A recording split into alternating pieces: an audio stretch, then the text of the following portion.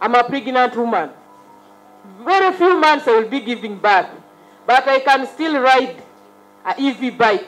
Uganda's electric vehicle subsector players are quickly harnessing the global renewable energy agenda, evidenced by accelerated partnerships. Nothing can happen with one company or one SafeBoda or one Gogo Electric or one Ministry of Science, Science and Technology. We need to come all together as providers who work in this ecosystem.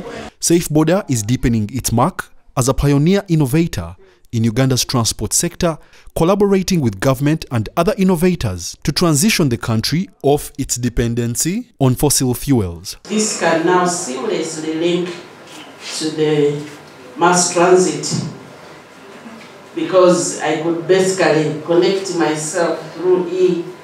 Tax exemptions will partly solve the challenges this sector faces.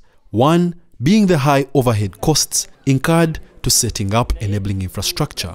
But if you are importing spare parts and you are inputting some of the components from here, then we give you a tax exemption.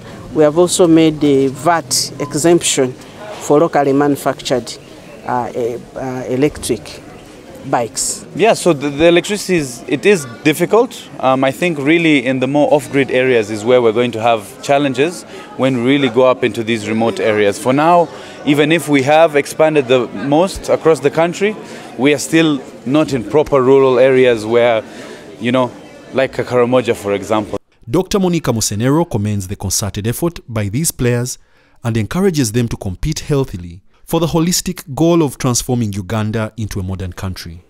Wadulo Mark Arnold, UBC Business.